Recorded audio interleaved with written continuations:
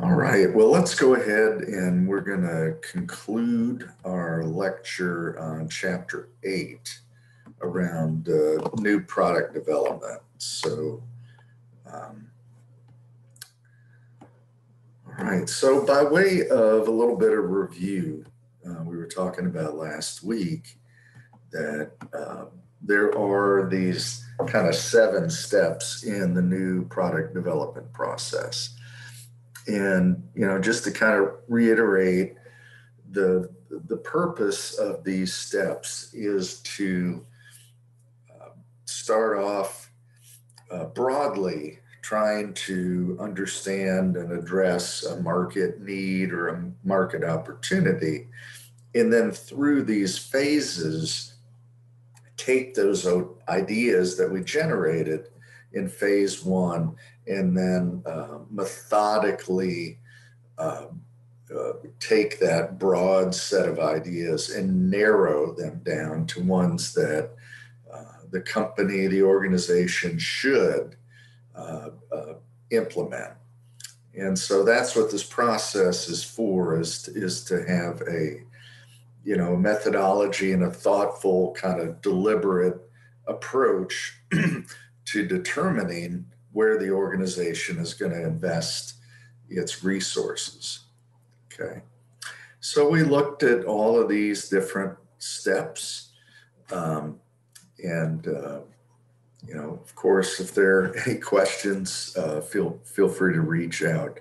Um, there is, uh, by the way, a little bit of a shameless plug here. There is a course in the Dayton School that is just focused on new product development. So I would just encourage you, if you want to know more about this topic area that we've been reviewing in chapter eight, then um, you know there is a course uh, that we offer uh, once a year that focuses in particular on this new product development process. So another little shameless plug there. Um, well, let's uh, go on and kind of uh, finish out this chapter and talk about a couple of different uh, ideas. One is this idea of adoption, and the other one is diffusion. So, um, if, if we think about a new product or even a new service that is created and offered in the marketplace that people within that target audience have to uh, see the product and then of course begin to embrace it. Um, and and that probably kind of goes without saying.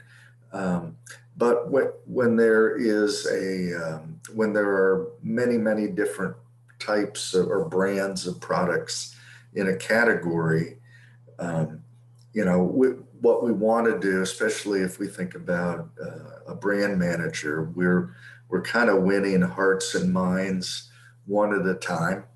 It's like a lot of new ideas in life and so there is an element of education and persuasion uh, in, that process.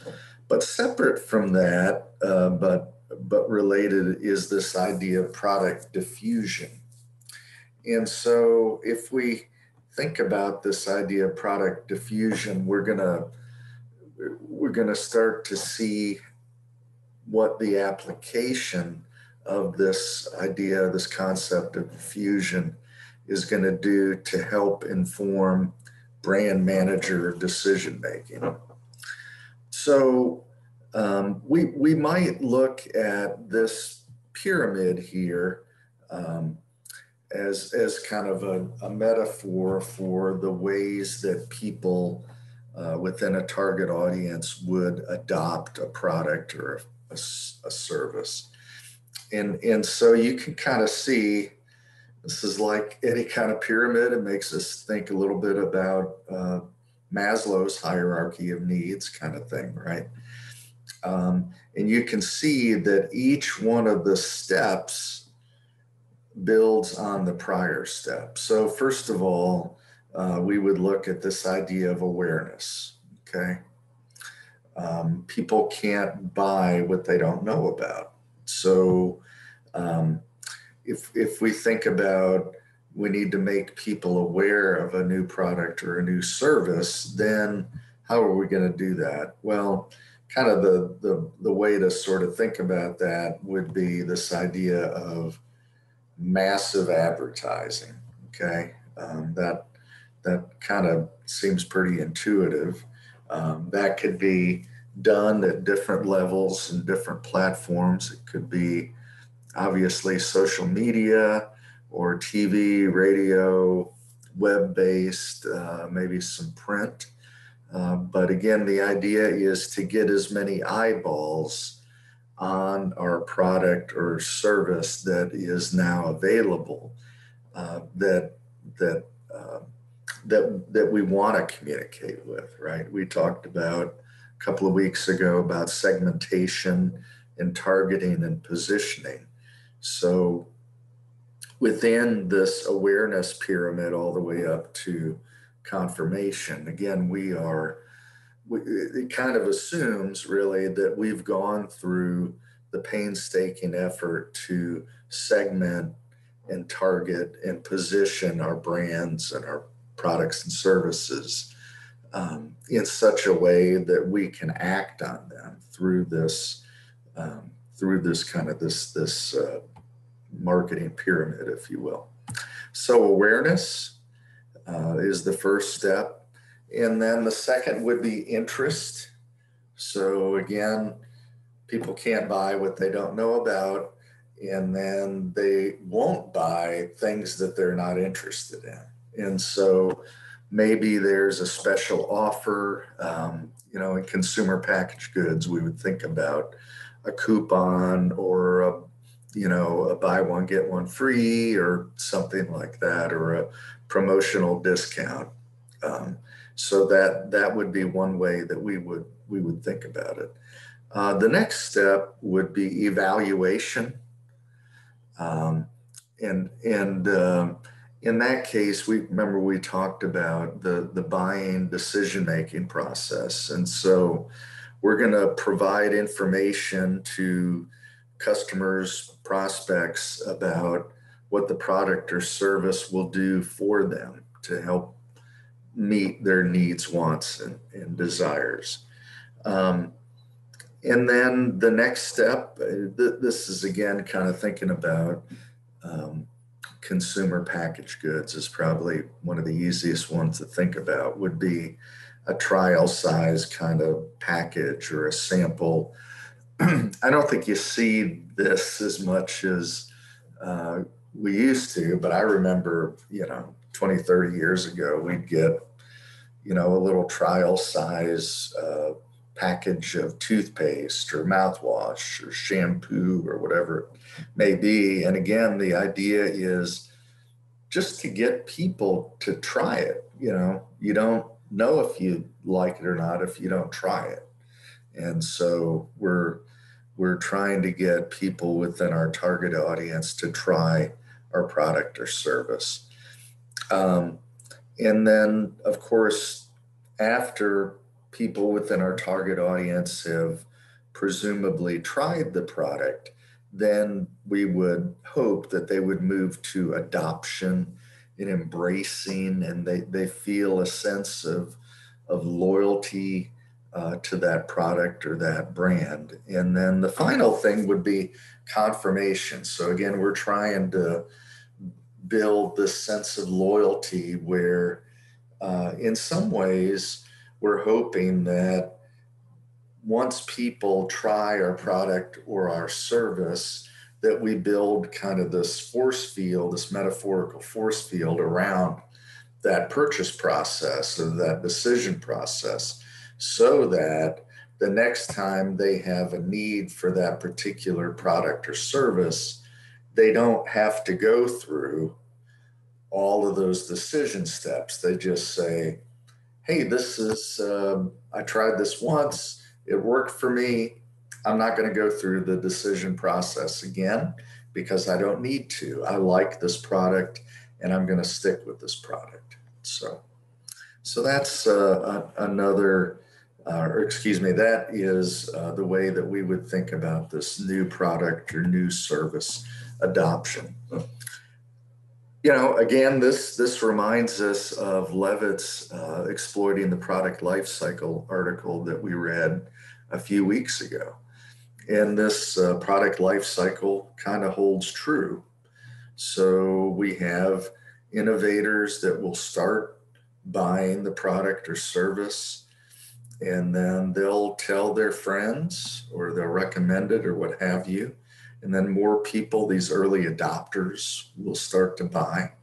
And then if there are enough early adopters that feel like this product is or service is what it claims to be then you know what we would see is kind of this this uh, early and late majority you know in statistical terms this would be within one standard deviation away from the mean here if we look at this middle line as the mean that once we make it into this early and late majority that's where most of our sales are going to come from right? About 68% of all of our sales are going to happen in this middle area. And then finally, again, when we think about our product life cycle, um, we're going to have some people that, you know, they're going to wait to the bitter end, excuse me, before they're going to buy the product or the service. Um, and, you know, we could think about smartphones and people that are older and maybe there are reasons why, you know, maybe they're real physical reasons. The screen's too small it's easy to drop or whatever it may be. Um, or it could be, hey, I'm just a flip phone person. I'm not old, but I just don't need all the fancy stuff. I just need a phone. And so, uh, you know, it may be at that point, again, if we're thinking about uh, smartphones, that people in this laggard category, they're going to wait until, you know, maybe smartphones are so cheap that you know you can pick them up at the local CVS or Walgreens for 22 bucks on a shelf somewhere, right? Um, and so so that's when the laggards would finally come into play. So so that's where those two or three kinds of concepts uh, come together, and we think about the adoption period then we think about the product life cycle and how it's really drawn by these different segments of adopters. Um, and, and again, it kind of uh, harkens back to that Levitt product life cycle um, concept. there's been, of course, as you probably would imagine, there's been a lot of academic research around new product uh, diffusion and adoption. And there are um, some pretty sophisticated mathematical models that are um, you know, that, that have been developed to to try to predict what um, you know what the race rate or the velocity of uh, of new product adoption uh, would be. Um, so again, we, we kind of think about what are some of the factors that would affect this adoption uh, rate. Um, and I was speaking about that just uh, a moment ago. Uh, but kind of at the abstract level, what we would say is that, um, you know, first of all, is there a relative advantage uh, in this new product or new service over the old ones? Is it um, that much uh, better than the old ones? I kind of think about, again, we were talking about smartphones um, as Apple, which um, I've bought iPhones for, you know, the past several years. Uh, whenever a new iPhone comes out, of course, there's a, a, little bit faster this and a little bit better that and a little bit clearer this, a little bit more accurate this or what have you. Um, and that that has to be those different features and benefits have to be different enough in a in a way that would overcome uh, the incremental price. And uh, if we go back to our uh, this curve here, there, you know, we're going to have some people in the innovator and early adopter category that even if the camera is just slightly better, um, you know, they're going to feel like, hey, I got to get rid of the old one. I got to get a new one. Um, and we all know people that that's kind of their approach to new technology. It's not bad. It's just different. Um, and uh, so, you know, that would certainly be one reason why products, new products or services would be adopted more quickly or less quickly. Uh, compatibility, you can imagine, uh, again, if we stay with smartphones, if I have to change all my apps and I have to change all of my different ways of interacting with my bank and maybe healthcare or school or what have you, if it's radically different, I have to change all those things. I'm probably not going to want to probably not going to want to adopt that new product or new service. Um, similarly, with uh, complexity, people generally want things to be straightforward and simple. And so, if the new product or the new service is hard to figure out, then people would, in general, say, I'm just going to stick with what I got because I don't really want to have to learn a new thing. Okay, that that makes sense. Um, trialability is it easy for me to access this new product or new new service? Um, you know, uh, and, and trialability and observability kind of go go together.